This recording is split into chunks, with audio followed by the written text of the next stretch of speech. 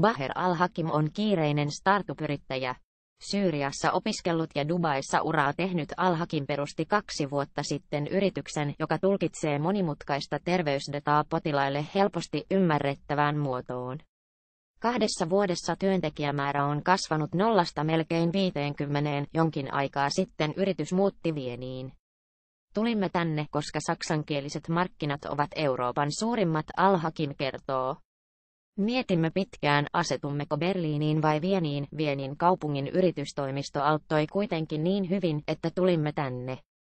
Sen jälkeen olemme myös saaneet täällä pääomaa ja niin hyvää apua, että kasvamme mieluusti täällä, hän jatkaa.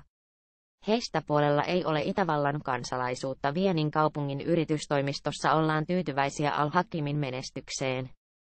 Viin ja Itävallan valtio ovat jo pitkään houkutelleet järjestelmällisesti ulkomaisia startup-yrittäjiä maahan.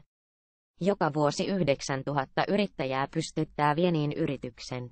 Heistä puolella ei ole Itävallan kansalaisuutta, kertoo toimistossa startup-yrittäjien palveluita johtava Gabriele Tatsberger.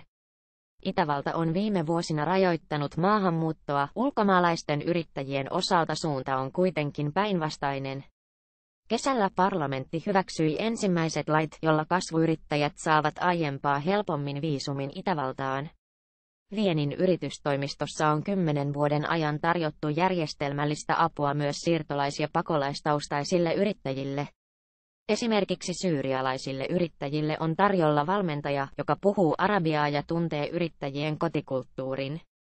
Haluamme olla houkutteleva kohde myös niille yrittäjille, jotka eivät puhu saksaa tai englantia, Tatsberger kertoo.